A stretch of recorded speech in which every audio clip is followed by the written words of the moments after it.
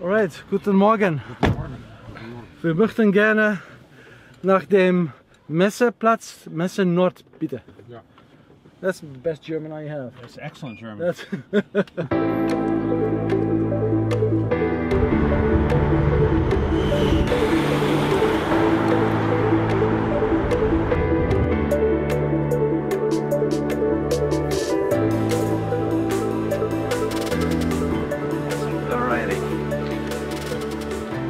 That guy was a manic with driving. Drove like a maniac. Am I allowed to get in? Yeah, now I am. Okay. So need to speak to Olivier Koczan, who is the head of secure land communications of Airbus Defence and Space. Luckily, I know exactly where the booth of Airbus Defence and Space is located. These are different locations from Airbus. And as a matter of fact, if we talk about square meters, they don't have uh, the biggest booth. But if we talk about square meters in general of exhibition space, where they are also having the networking bar, their own booth, um, it's it's huge. It's huge, and there's a lot of focus from this company on critical communications and the changing environment in critical communications. What I see from Airbus Defence and Space here, you have a very nice booth, but the booth is you. apart actually, more or less. You have different sections. You have the apps ecosystem. You have the solutions there. You have the the, the um, theater over here. Um, I get a feeling with all of the new influences of Airbus Defence and Space, with the app development and so on, that the company is changing a little bit. It looks like Airbus is going from a very formal company to a more uh, to a company that's more adaptive to new technologies, new entries, young people into the company, in different phase. Is that correct? That's correct. That's correct. Does not mean that we are somehow uh, forgetting about our our route. Yes. Okay, uh, we are dedicated to mission critical uh, activity, mission critical communication uh, business, and we are dedicated to our public safety customers. So we keep that. It's part of our DNA. But moving uh, moving toward uh, the hybrid technology with more data, the MCS mission critical services that we are developing, it's true that we are more and more application or application as a service oriented than we used to be in the past. So the, the- what you see here is uh, the, the consequence of that. The Yes. consequence of- and there is one point which is, which we are extremely proud is the application ecosystem. So we are it's a space on our booth that uh, we give to application uh, de- uh, development company that we have selected uh, through an hackathon. And uh, the, the first two, the first three, uh, they, they, they get the right to come and to showcase their solution. It's, it's free for them. It's an opportunity for them to be here and to, to, to just to capture more attraction in the market. Without this ecosystem, all the, the nice device offering capability for video, data transmission, etc. Without the app, okay, uh, what does it bring to the, to, to the end user? So there is a need for the app, and we are supporting the, the application development. Sam Fenwick is going to be the dispatcher today, Okay. Okay. So sit down. and he's going to uh, to to manage the situation today as a fire dispatcher. It's about the situation at the metro station where there was uh, some sort of explosion. We don't know what happened. So the firefighters were deployed to the to the environment, to the situation. Um, from the dispatcher room, then we are connecting to the 360 degree camera from the firefighter, and we can notice things while they are busy, while the firefighter is busy opening a door or saving someone. We can see things around and communicate with other groups. Maybe we can communicate with the paramedics and also the police. So this is the scenario where the firefighters are busy, but we can see everything around them, so we can help them a bit more. The train looks empty, but there's something on the station platform outside the train. Let's take a look. This is so weird. It always looked like Sam is searching for something, but he's really into virtual reality in his own world, di- managing a situation at a fire. So basically, this is what Sam is seeing through his virtual reality glasses. Uh, that's what we see here as well. Yeah. Interesting. So, How was that, Sam? Yeah, good. Very thing is,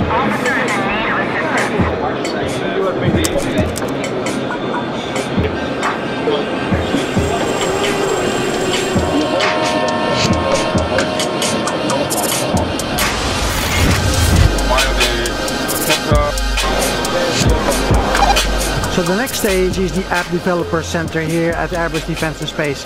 This is pretty impressive actually. This is different, Yeah. is it? It's different. It's different. It's a new way Exactly. Airbus is doing business. Uh, it's a nice community, refreshing way actually. Definitely. And now I'm gonna present you. Um, hey, you, might know that Intelligence on Wheel. It's a new. They won the prize, right? They won the app challenge. Or not? Exactly. Yeah, you, you won the app challenge. morning. Yeah, can we still congratulations Andreas. Yes. Thanks. Yeah, we, we had a kind of contest um, in last February, and they had the best solution for the new Tactilon Dabat. That contest you can see over here, that's a video being shot at the Critical App Challenge. Take a look here. Uh, there's still uh, a, a dangerous situation for track workers today uh, in construction sites to be hit by trains actually.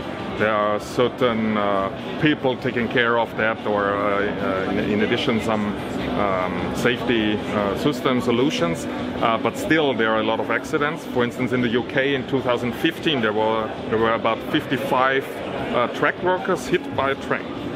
Uh, and so we came up with a solution. It's a combined Tetra LTE radio that receives position information and speed information from trains in the vicinity.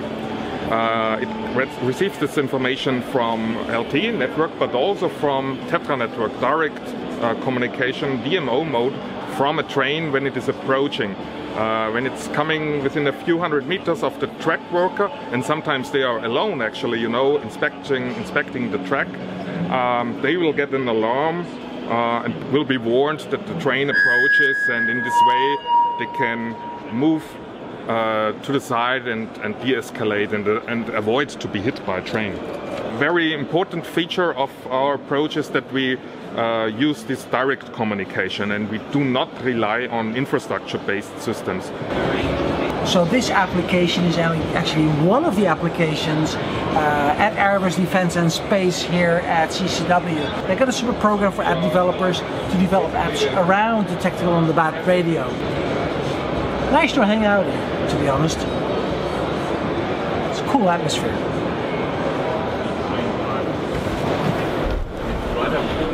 Okay, so how easy is it to get app developers um, connected to Airbus Defence and Space to your program? Because I, I understand people should be queuing for that or not.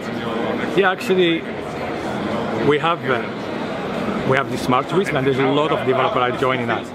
But you know, in this business, this is not consumer market. We are not looking for a large number of developers. We're for really developers who who understand business, understand customer needs to deliver professional application. So we are. I receive, for me personally, I receive a lot of lot of uh, requests, but we are trying to find really the one who can deliver something to our customer. You can pick and choose. Yeah. Okay, let's say the pick and choose, but in positive way. We find the right developer that complement our offering to meet the best to meet the customer in the best way. I mean, the need. And that makes perfectly sense. Uh, you, you just cannot accept every single app developer to your SmarTwisp program. You need to understand really what is necessary for the end user.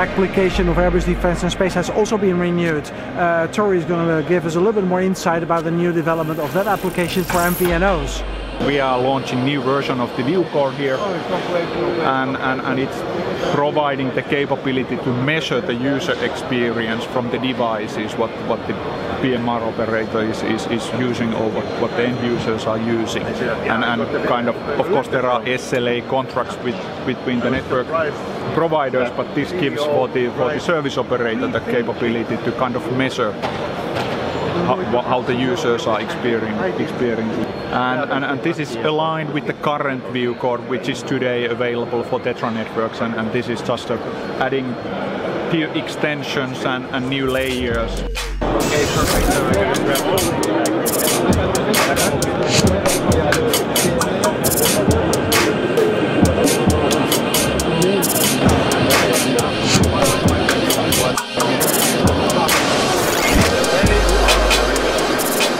That's the prize, right? Yeah, absolutely. Thank That, that's the Thank you. for the Dabat Radio. Yes, it is. You must be very happy. We are not only happy, we are extremely proud of that. Yes. It's, it's uh, one of the device which is part of our hybrid strategy and we are extremely proud uh, of this recognition because it's a unique product uh, combining a Tetra uh, and a smartphone, uh, Android smartphone. So yes, I'm more than happy, proud of getting that. And that was a good move to bring the Dabat into this industry because a few years back the product wasn't there. You had probably with the company a vision about how where it should go to. Um, but the company was also for sale at that time, two and a half years ago. We haven't seen anything happening yet. Uh, and and what is the status on that? Because you know everybody's Yeah, looking at Airbus from that perspective. Before answering this question, just to comment on your first point, we have always always been convinced about the hybrid evolution strategy for the public safety network, and I do, we started this uh, this uh, summer journey of developing an hybrid uh, solution portfolio five six years ago, and I do believe that we were right. Uh, coming to your point uh, about uh, the divestiture of uh, the secure communication out of the group, you know that uh, earlier this, this year we completed the deal for the North American business, which is uh, primarily uh, the 911 emergency call handling uh, system activity. Uh, for the rest of the secure and communication activity, there is no formal communication of the group. So the situation is as it is, no, no major change. That being said, we are uh, developing further the activity with the full support of the group, the full support of the group, and also I would say the, the trust uh, of our customer and the support of our customer. So as secure and communication is going well, um, and even more than the support of the group, we are somehow strengthening the cooperation within the group, developing solutions together with our colleagues from other activity of the Airbus Defence and Space. And I'm sure that uh, you had the time, the, the opportunity to go and to have a look Exactly. at our different uh, exhibition uh, uh, spot here. And we do have solutions that have been created, desi- designed, developed together with our colleagues. So we are reinforcing the cooperation within the group.